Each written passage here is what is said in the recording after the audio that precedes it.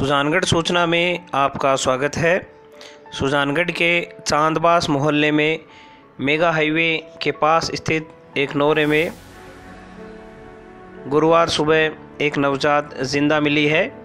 शिशु के रोने की आवाज़ सुनकर ताराचंद और रोशन खिची नामक युवक ने उसे देखा और वहाँ से लेकर उसे राजकीय बगड़िया अस्पताल पहुँचे, जहाँ चिकित्सकों ने नवजात का इलाज शुरू किया। फ़िलहाल नवजात बच्ची की हालत अब खतरे से बाहर है। वहीं सीआई दर्जा ने बताया कि पुलिस अपने सूत्रों से इस बच्ची के माता पिता का पता लगाने में जुटी हुई है।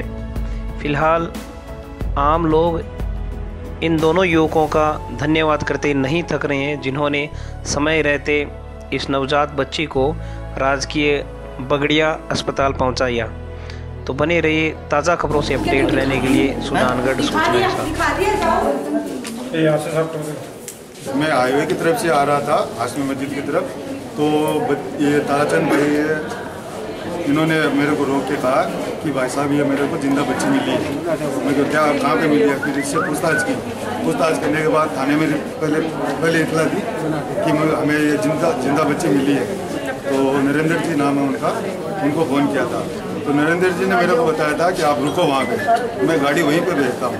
तो नरेंद्र जी को मैंने बोला था गाड़ी आप वहाँ मत भेजिए आप हॉस्पिटल में भेज दीजिए।